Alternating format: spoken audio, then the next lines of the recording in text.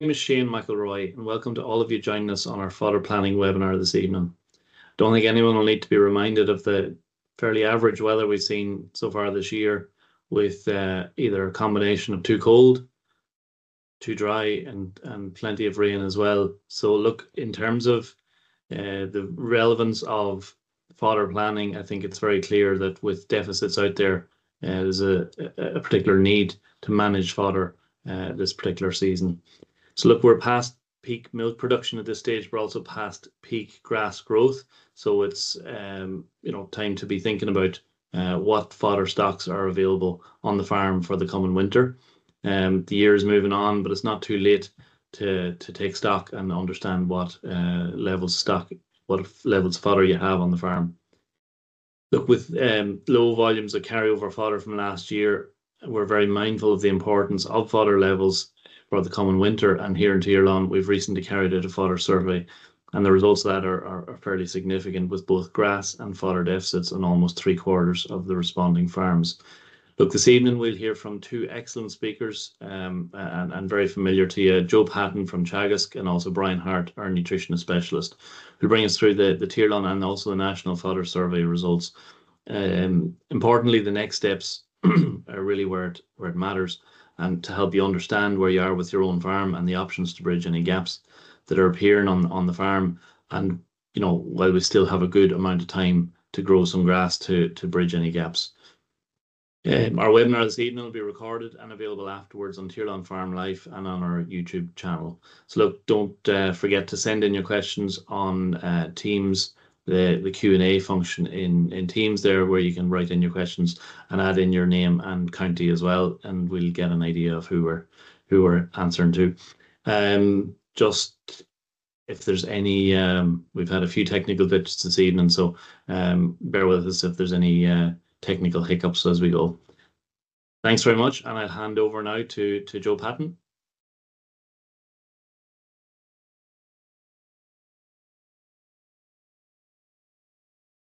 So that's mightn't sound like 10% mightn't sound like uh, a huge amount, but it's significant now because, as we always say in these situations, you know, a 10% deficit at the start of the winter will turn into a 100% deficit at the end of the winter. So, you know, it's a couple of weeks feeding basically is what's missing.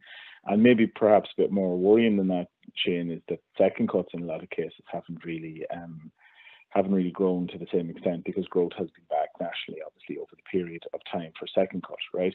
And look at the other thing there too to say is that you know, we looked at this across different regions and different scale of farm and all the rest of it. And like, there's not that much difference, to be honest with you, between, you know, the different regions of the country, between the eastern side, southwest, the northwest, and, and the Midlands, northeast. So I suppose more, more relevant for the people on the on the call tonight is probably the Midlands and the, and the eastern side, obviously, and they're running at sort of 58, 60 percent, right? The only place in the country, for me to say, that looks pretty close to target is dry stock farmers in the west of the country, right? So, look, there's work to be done, and there's there's it's it's work.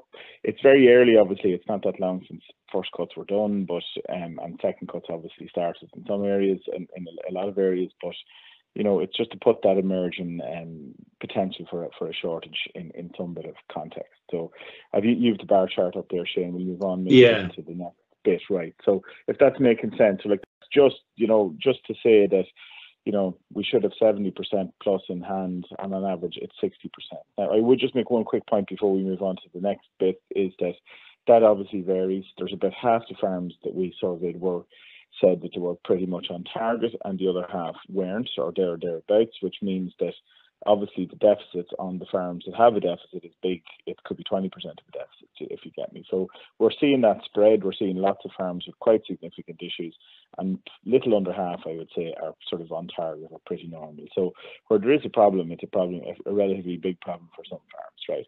So the next thing we looked at, if we just move on, is this um, you know, we asked the question, and it's something we always think about is, okay, you're short, but now what? I suppose, and we just have, you know, have have have people that have identified themselves short, have they made any provision? Have they done anything about it as of yet? And half the respondents said that, on a dairy perspective, 50% said they have done something, mostly about trying to secure extra area for second cut.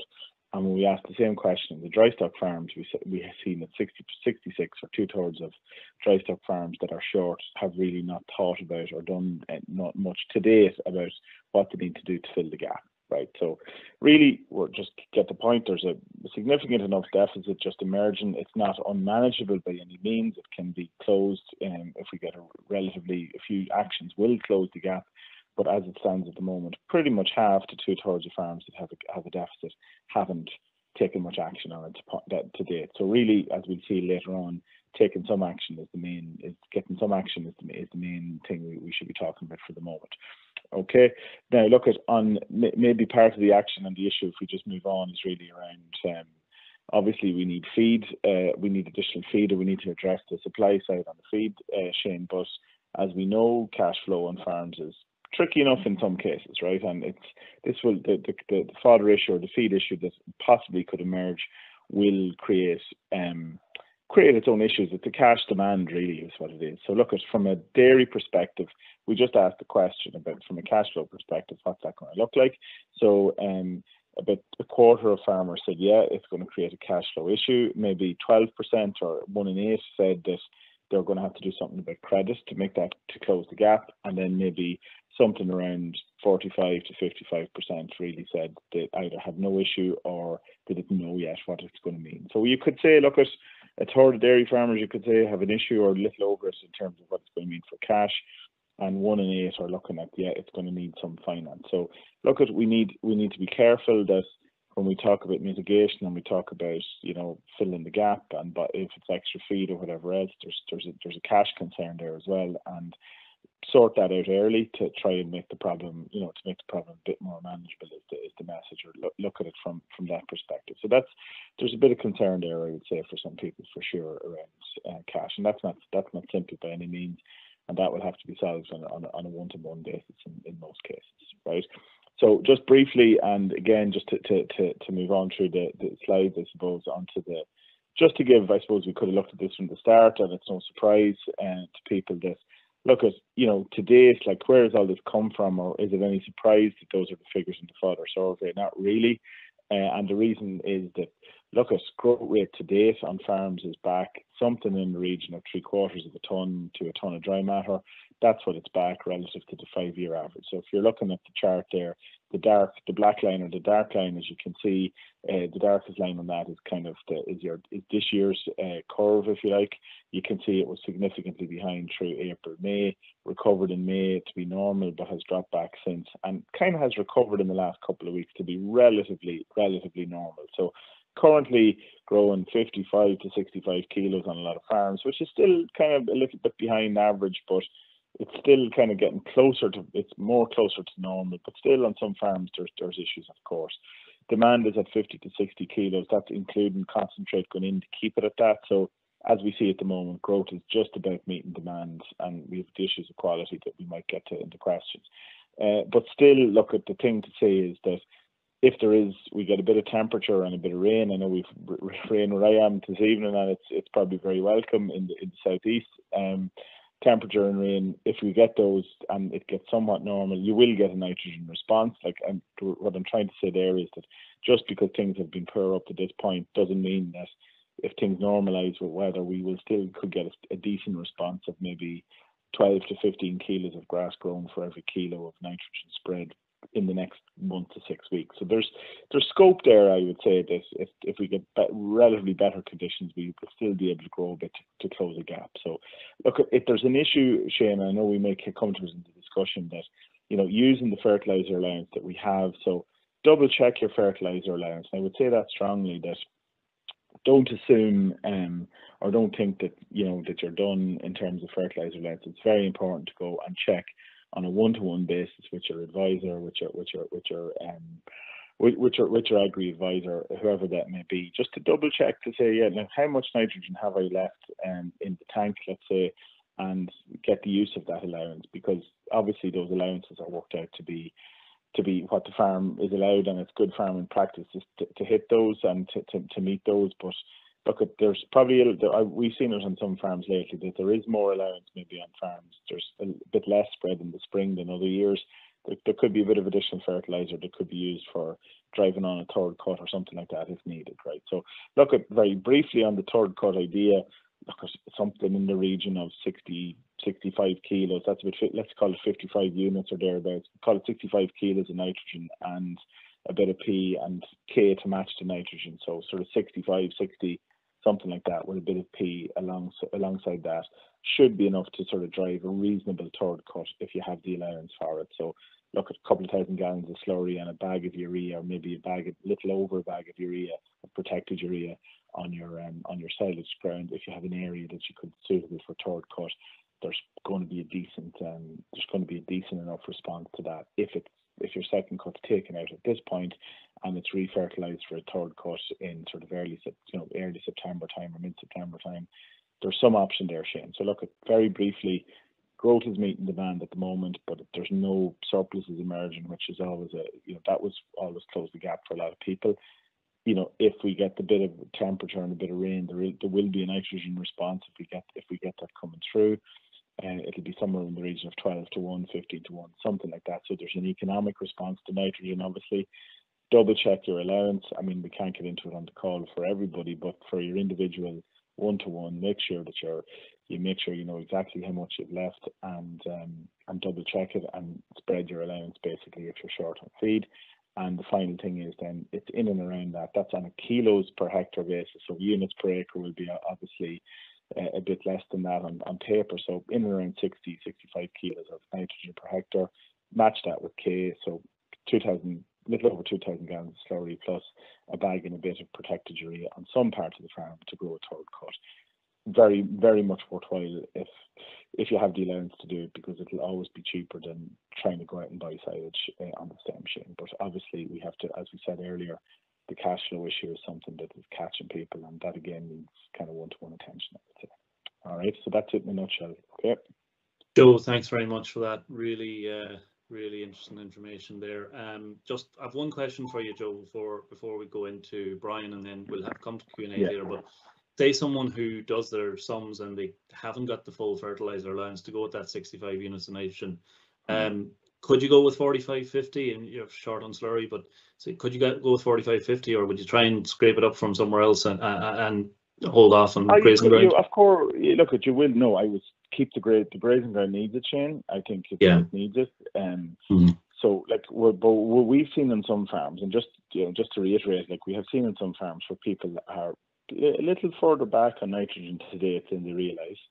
There's a bit of an allowance still in place. And yeah. what I'm talking about there is you might only be talking about 20% or 20% of the farm area that you're going to grow a third cut on. So going an extra 10 kilos or 15 yeah. kilos on that area is only going to, if you take it on a whole farm basis, it's only on a small oh. area of the farm. So it's only going to yeah. be two or three kilos for the per hectare across the whole farm, if you, if you know what I'm saying.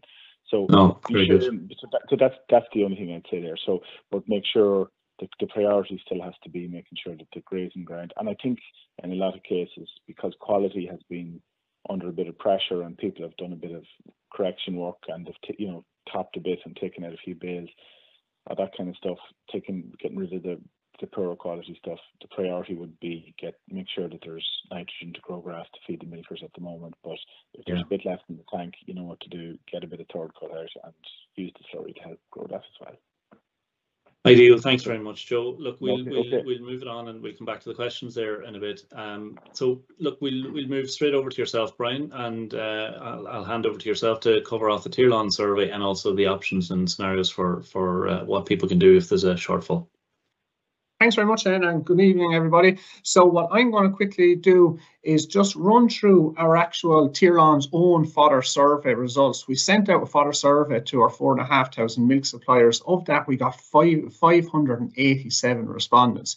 Now, naturally enough, when we send out a survey about uh, fodder shortages, those who might be getting affected with it most uh, will, will respond. So uh, they could be slightly biased on the figures by just who might have responded to them, but they very much line up with the, uh, the figures Joe has just presented and the Teagasc figures. And ultimately, when you look at some of the highlights of it, uh, of our survey in Tirlán, 82% identified themselves as being currently tight on grass. 53% of those are currently feeding higher concentrate levels, like what Joe said, to extend grass and keep that, say, demand uh, where it needs to be. Uh, 75%, I think it's one of the more surprising figures, that 75% of, of uh, the suppliers that responded have no surplus bales in place currently, and 72% are behind where they should be for their winter fodder uh, targets.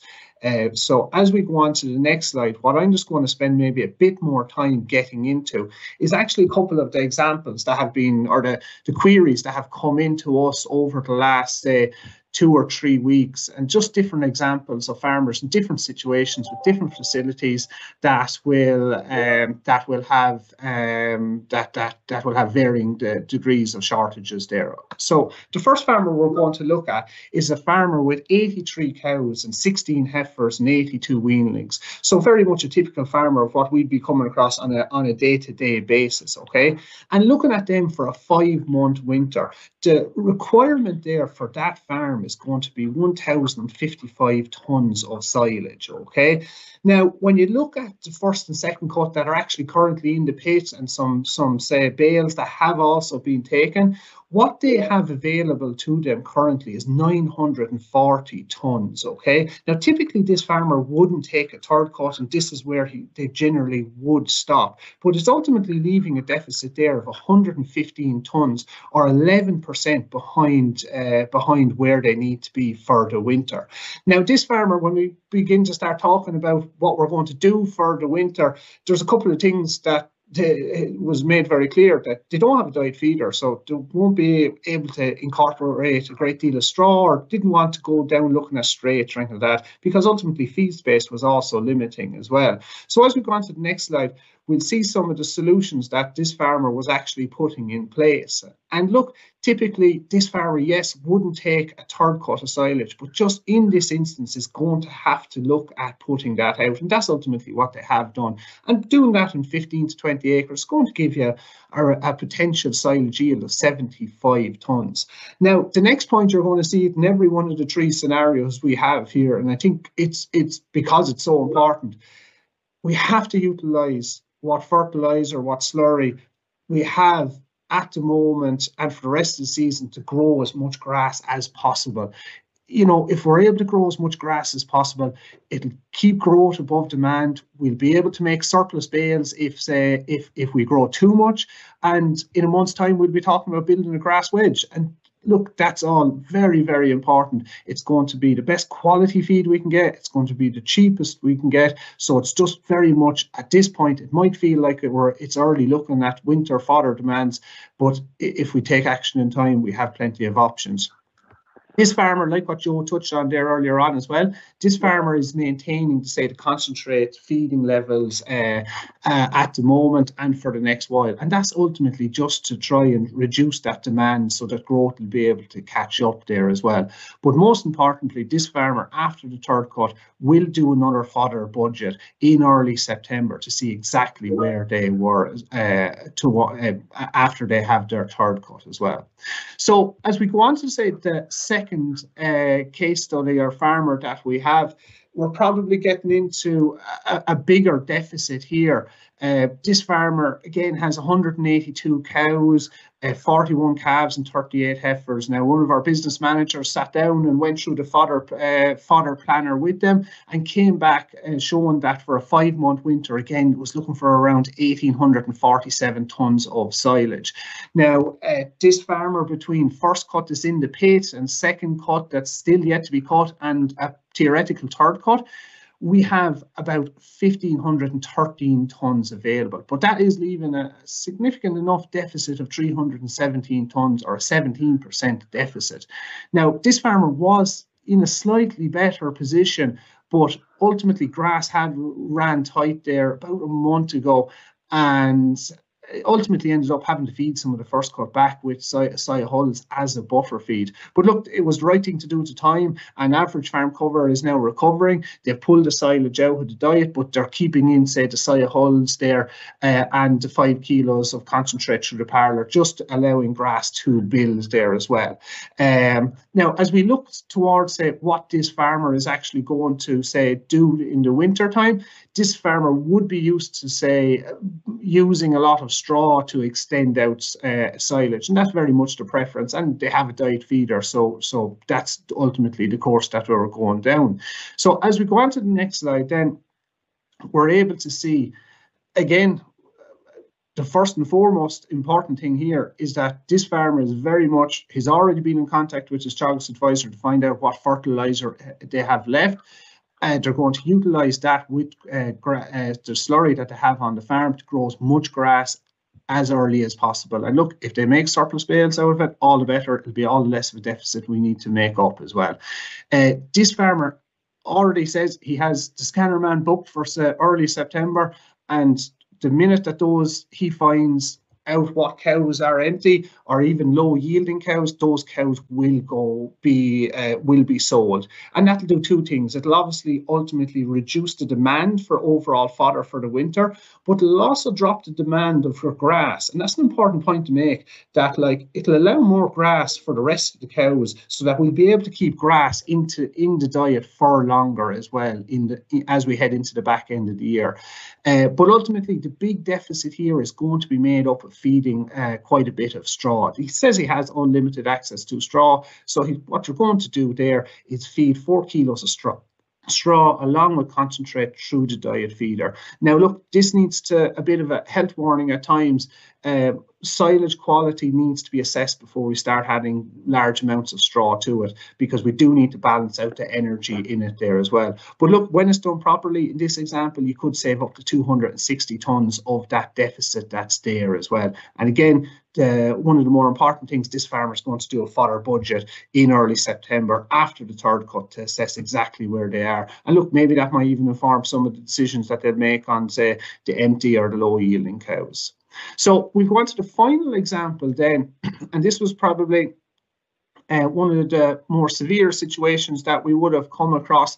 It's a farmer there with 128 cows, and then did 53 of a mixture of, say, bulling heifers and bullocks that they would traditionally fatten, say, come uh, uh, in February into March time as well. And they have 104 weanlings there as well because they generally keep the majority of the calves. Okay. Uh, the fodder requirement for the five month winter in this example is 1733 tons. So obviously a significant amount given that you're feeding all the weanlings and bullocks there as well. Okay. So again, between first cut is in the pit, second cut, and the theoretical third cut, we have we have about 1,265 tonnes available to us, but it is leaving a very significant gap of 468 tonnes, which is 27% behind where they need to be. You know, now unfortunately, look, uh, uh this farmer couldn't could have done very little else uh, because ultimately they were running out of grass and they decided to graze some of the first cuts. That's ultimately how we ended up in this situation. But now, look, grass is recovering, feeding concentrate in the parlour, uh, but there is a severe deficit to be made up of that 27% or 468 tonnes. Uh, and then as we move to the next slide, probably because there's a, a good bit of say the deficit is so big in this situation, we're going to have to look at a number of different options, and it's it's uh, a bit like a menu, I suppose, that you could uh, were, were that a farmer could choose from. Okay, but the one thing on the menu that will have to be adhered to is just growing as again growing as much grass through the utilization of fertilizer and slurry as much as possible. Now in these type of situations, look, buying silage is obviously going to be one of the one of the best options, but just this farmer was questioning some of the availability and also say quality for feed. He was going to try feed to milking cows or finishing animals. Uh, whole crop is certainly an option. This farmer is in a, a, pretty strong tillage region, so that could have been an option.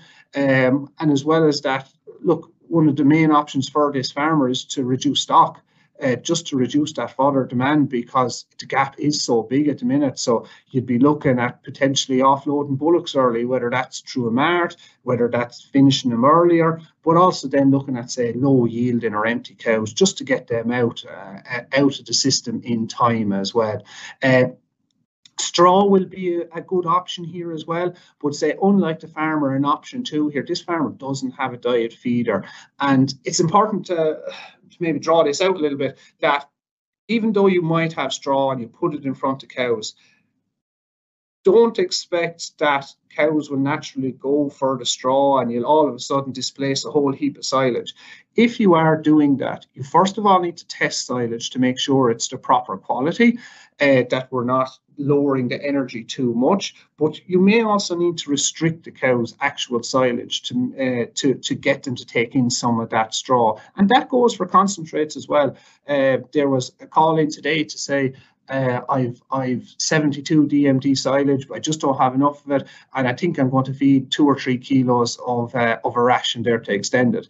That's that's okay, but like it won't automatically displace two or three kilos of dry matter grass, and you could end up with with quite fat cows as we head towards calving, and that's not where we need to be. So again, just if you are, it's probably the importance of contacting a, a your Tirlán business manager, your your Teagasc advisor, just talking through the options here and making sure that it is done correctly. But most importantly for this farmer, there will be monthly fodder budgets done throughout basically for the rest of the year just to find out exactly where that farmer is.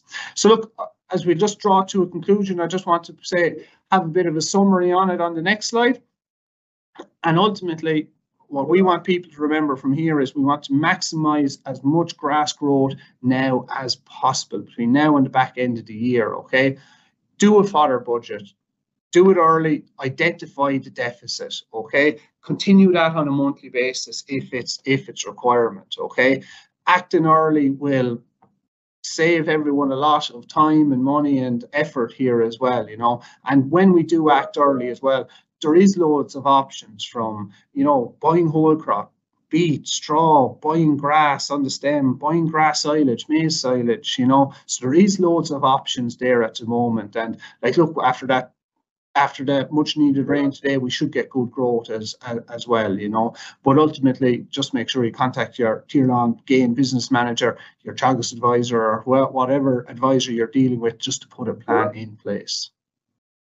So thanks, Shane. I'll hand it back to you. Thank you very much, Bryan. Top class information again. A lot to take in there. Um, hopefully, people are finding themselves in the in the lesser of those scenarios, but some really good options when when things are fairly severe um, on the farm. Um, look, we we go straight into questions. I think. Look, thanks to everyone who sent in the questions, and, and there's a good number of questions in. We'll go through them now, but um, just a reminder to put them into the Q and A function on Teams. Uh, you'll find that they're on your phone or on your PC. Uh, and and if you'd like to also include your name and the county you're you're texting in from, it'll just give us an idea of, of what part of the country you're in. Um, Joe, I'd say this one's uh, for ye. I'm running tight on grass, and they don't measure grass. What what's their options?